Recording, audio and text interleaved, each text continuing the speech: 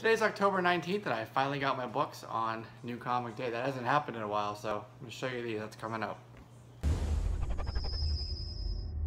Hey, what's up everybody? This is Jesse here. You are watching JLS Comics and I have a new comic haul for you that is actually on New Comic Wednesday. That hasn't happened in a while, so um, if, consider yourself lucky. If this is your first time stopping by, doesn't happen too often to be perfectly honest. I usually do a couple weeks at a time, kind of all together, so um, I'll show you what I got here. Just a couple books really. So um, this here is Harley Quinn um, Undercover Punker. It's issue number six. And I like this um, pop art style cover here. I think it's pretty cool. Um, see, it's a pretty striking image, right? Um, the story itself, it's a pretty light story. You know, it's just kind of, um, I'll show you a little bit of the art. It's typical art. And just plain old fun kookiness. Alright. So I got that. Um, Harley Quinn number six. That's the regular cover, by the way. Uh, the next one I got is Deadpool Back in Black. This is issue number two. And this is, of course, an homage cover to uh, well, Amazing Fantasy 15, um, Amazing Spider-Man 252, and they've done this a few times, but there you go. You get the power pack and a, a crazy clown. Alright. So that is uh, Back in Black issue number two. Cullen Bunn writing that. Uh, we are already up to issue nine for Batman. And I am a little bit behind um, on this, so I'm not going to be able to read this until I catch up on those. Uh, I just saw a comment pop up uh, from somebody, and they said that this is very uh, Tank Girl-esque. And uh, as soon as I, I saw that, I'm like, yeah, that, that is right. That does look a lot like a, you know, Tank Girl sort of thing, so... Um, there you go. All right, next up we have Spider-Man, or Superman. this is issue number nine, and this is Escape from Dinosaur Island. I noticed the Rebirth banner is getting smaller and smaller. I think they're just sort of like slowly phasing it out. Um, oh, you know what? I didn't show you the art in this book. So this is uh, Cullen Bunn writing and Salva Espin on art. Okay. So right away you open up and then you got the, the suit there. Okay.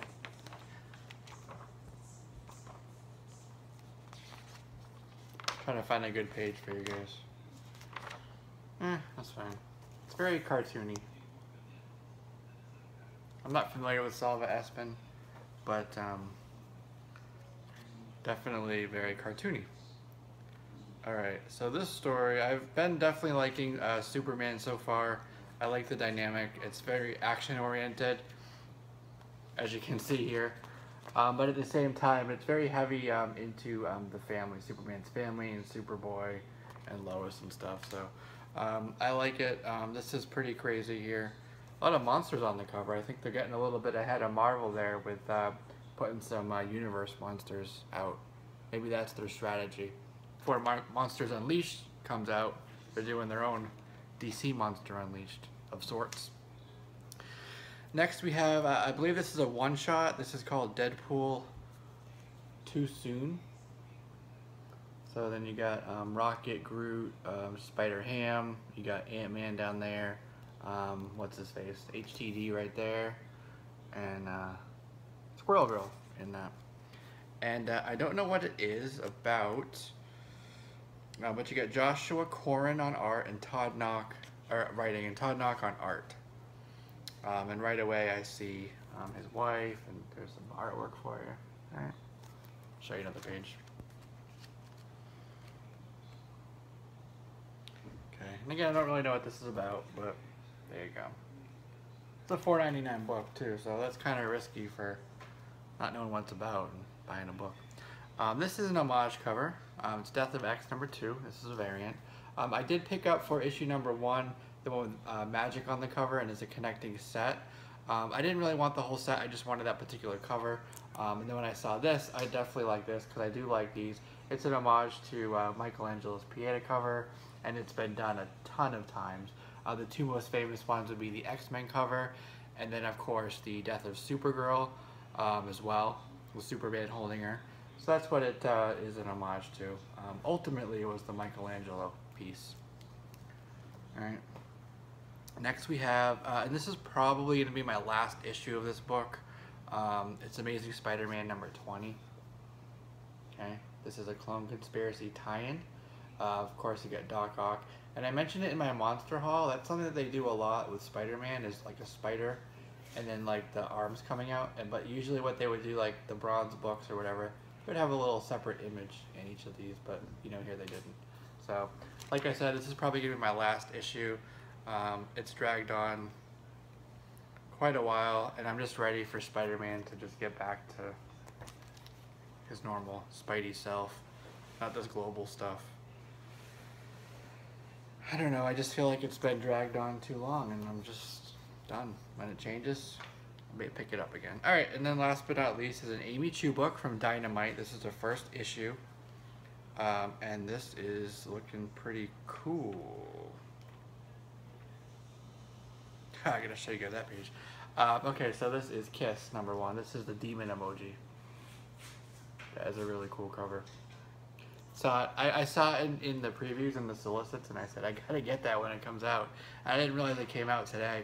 There's also actually a uh, what they call a virgin cover for this, which just means that the the dressing here and everything is gone. It's just this image here, um, but this is obviously not that particular thing. And uh, some of the art in here looks, I mean, it looks pretty cool. Typical sort of like house style artwork, um, which is good.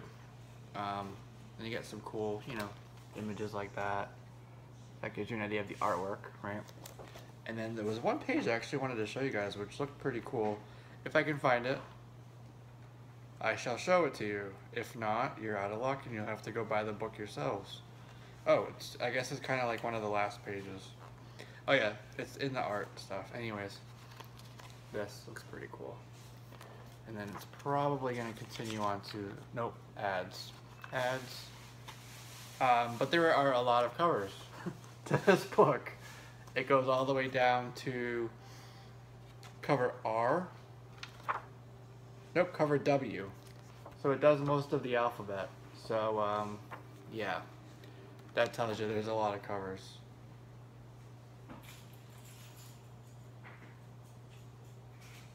See, and here's the one that I got. Just so you don't think I was lying. There you go. Demon emoji cover. Alright, so that's what I got. Just a few books. Um, if you like these, um, you know, definitely um, let me know which ones you like the best um, down below. Uh, if I missed any, if there's something I, I got to go back and get, just let me know that too. Um, if I kind of wasted my money on any of these. Uh, I know I bought a couple that I didn't really know much about, especially that $5 book. Um, you know, definitely I can talk about that. If you want to see a review of one, something more in depth, uh, also let me know. Um, and if this is your first time stopping by, definitely go ahead and hit that subscribe button. I got a ton of stuff coming up. In fact, I got a really good um, back issue haul coming up soon. So I look forward to sharing that with you guys. I got some really cool books in there.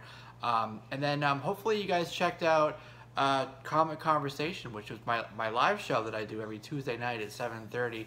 Um, we kicked that off uh, for the fall season yesterday.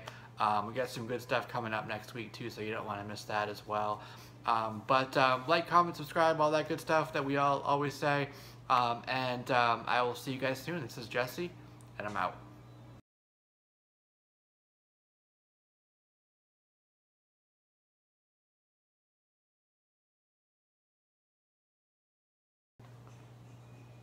Well,